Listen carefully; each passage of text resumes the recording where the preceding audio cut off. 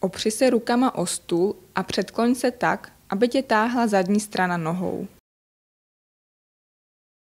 Nohama si stoupni na šířku pánve. Snaž se co nejvíc narovnat záda. Cvikem si protáhneš zadní stranu stehen.